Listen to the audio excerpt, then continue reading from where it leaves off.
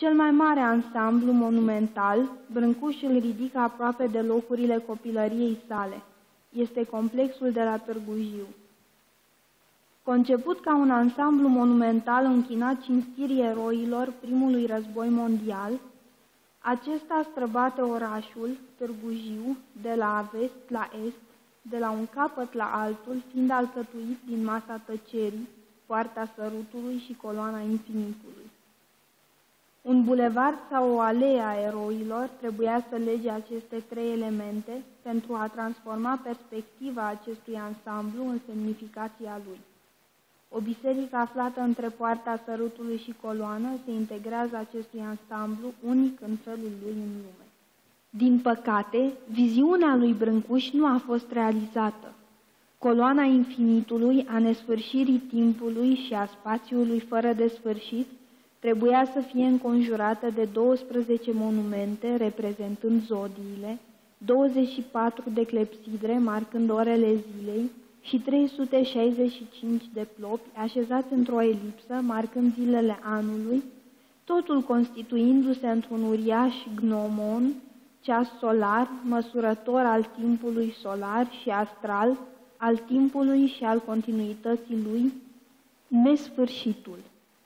Coloana însăși trebuia să măsoare 60 de metri, deci dublul înălțimii ei reale.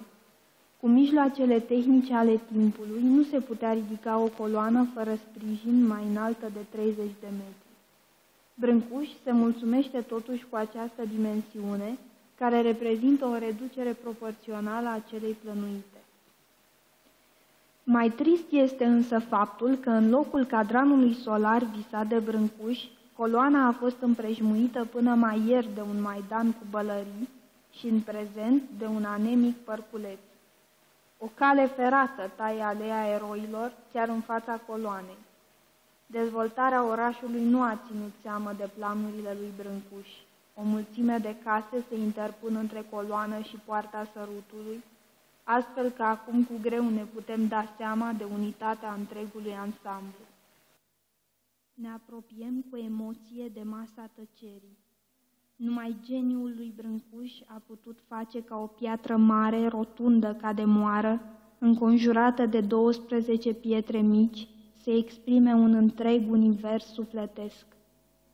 Parcă vezi adunați în jurul mesei țărănești pe acei pe care războiul în curând va să-i despartă. Putucii de lemn ca niște căuce lipite câte două, au luat forma în piatră de clepsidră. Nu are pentru a ne aminti de apropierea sorocului, de faptul că fiecare își are timpul lui propriu, că acest timp se scurge implacabil. Dar oare nu și pentru a arăta continuitatea acestei mese? Simțim măreția tragică a cinei cea de taină a unei familii de țărani, a unui neam întreg. Nimic nu poate tulbura tăcerea profundă a clipei cruciale, a marii clipe în care se văd pentru ultima dată, uniți în jurul mesei, fiii marii familii. Această clipă, care a fost din totdeauna, ne-a închegat-o în piatră mâna lui Brâncuș pentru totdeauna. Parcă pentru a nu tulbura tăcerea veșnică a acestei clipe, pășim spre poarta sărutului. Clepsidrele marchează și aici, la stânga și la dreapta noastră, trecerea inexorabilă a timpului, fără de întoarcere. Ne apropiem implacabil de poartă, poarta sărutului de dragoste și despărțire, a sărutului suprem care unește pentru totdeauna ceea ce în veci va fi despărțit.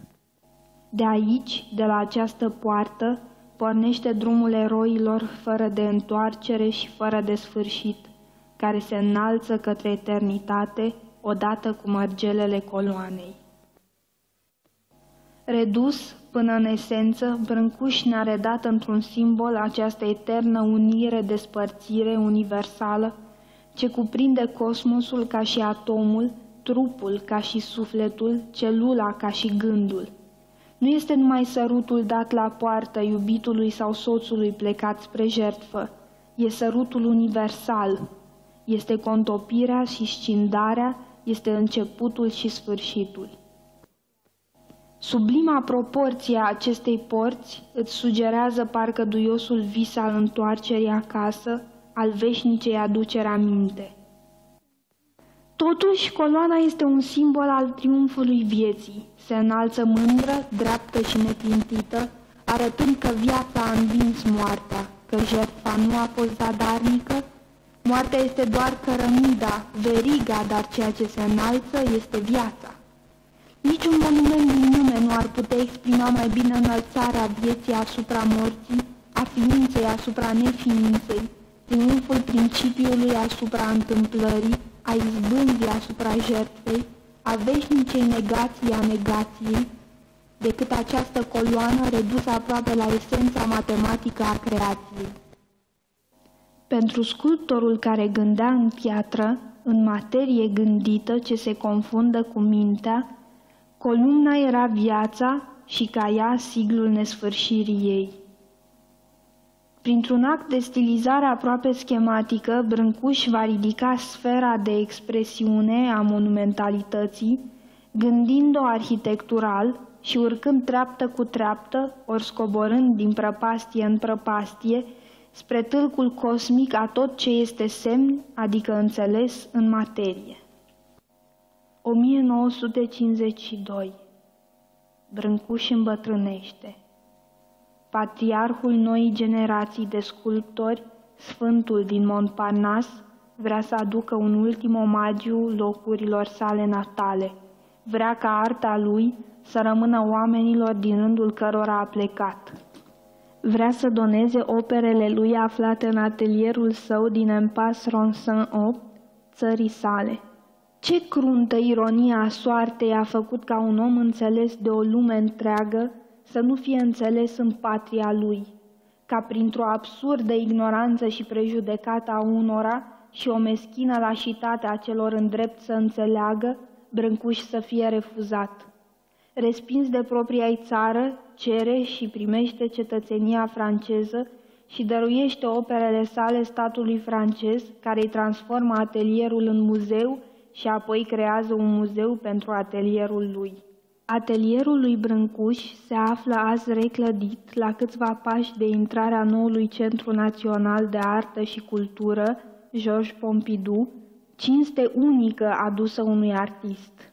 Ca un trunchi de stejar falnic, așa cum el însuși s-a reprezentat în autoportretul lui, dobărât de o secure, destinul lui Brâncuș se împlinește.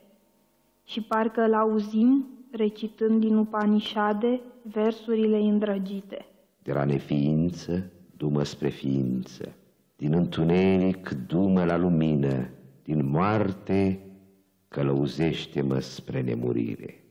La 16 martie 1957, Brâncuș încetează de a mai crea pentru totdeauna. Brâncuș s-a născut la Hobița în 1876 și nu va muri niciodată.